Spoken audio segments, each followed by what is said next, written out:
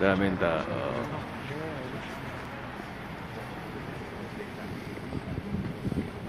Grabe.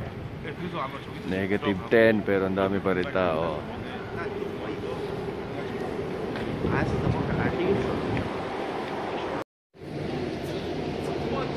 Daming tao.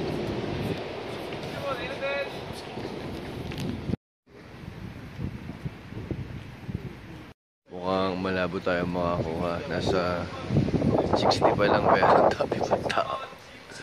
Pang 200 tayo. I hope makakuha kasi grabe. Napaka-iconic ng Jordan 11 Concord na yan. I think ito yung pinaka the best na Jordan shoes sa lahat. Ayan, ang dami pa rin. Meron pa sa likod yan. Ang mahirap pa doon, tingnan mo. Negative 10 ngayon, sobrang lamig. Grabe, pero tingnan mo naman ang tao. Dami. Wow. Sana makakuha.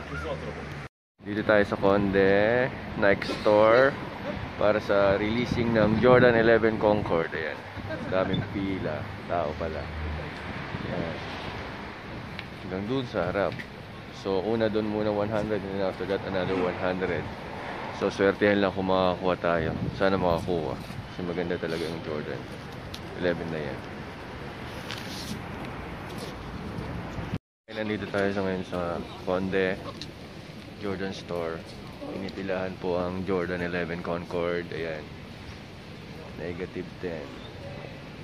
Sobrang daming tao. Yun, may pila pa dun sa harap. Grabe.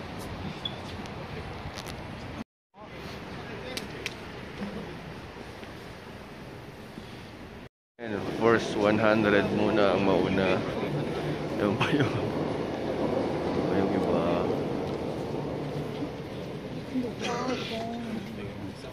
Daming tao.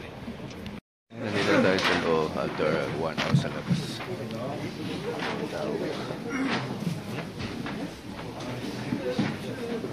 Sana makakuha sa size 12. Kasi daming malalaki dyan. Sabi mo ako magbusan pa. Ayan, nakapila. And then kung ilan yung kukunin nila. Dami.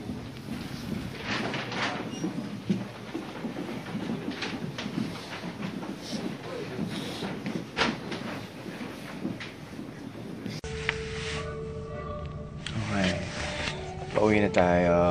Nakuha ko na. Wow. Last, huling-huli siya talaga. As in, huling size na siya. Ang dami pa rin taong nakapila. Swerte lang talaga. Buti na lang. Kahit na negative 10 talaga ngayon. Pinagtsagaan almost 3 hours din ako nandun. Tapos, ang daming tao talaga. Buti na lang chambahan. Oh, grabe. Sobrang lamig. Ah, thank you Lord. Okay. Mamaya ko lang siya bubuksan pag nasa bahay. Okay. Dito na tayo sa taxi. Pauwi na tayo ng bahay. Nakuha na natin siya. Na, um, napakaswerte talaga kasi huling-huli na talaga siya. Sinla, paubos na. Ang dami hindi nakakuha talaga. Buti na lang na-chambahan natin. Ah, so happy. Nakuha ko rin ang Jordan 11 Concord. Ang pinaka-the best na shoes ng Jordan. The best. Okay, unboxing tayo ng Jordan 11 Concord. Yan. Sobrang pinaghirapan, sobrang pinilahan. Nice box. Wow. Sobrang ganda. My God. Wow. Malupit.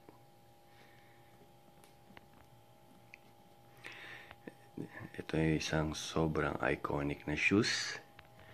Kasi ginamit to ni Michael Jordan nung bumalik siya nung 95-96 after siyang nag-baseball. So 45 kasi yun ang ginamit niyang number that time. And then pinagbawalan pa siyang gamitin. Itong shoes na to kasi bawal yung colorway niya. So despite of that, ginamit pa rin niya kahit na nagbayad siya ng penalty. Sobrang linis, sobrang ganda. So, wow. Wala akong masabi. Just wow.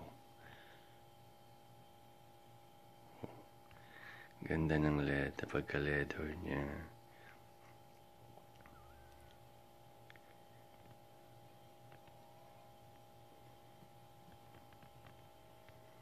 Ito siguro ang pinaka the best na Jordan sa lahat na na, na nakuha ko or nabili ko.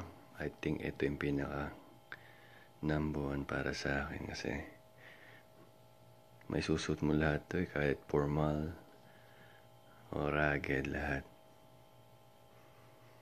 The best. Pinaghirapan ko almost 4 hours na pumila. Negative 10. Pero worth it naman kasi nakuha ko siya. Kaya dyan ka. Hindi mo na kita.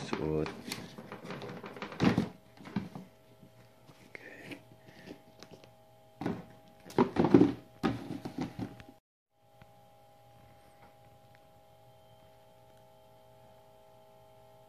Nice.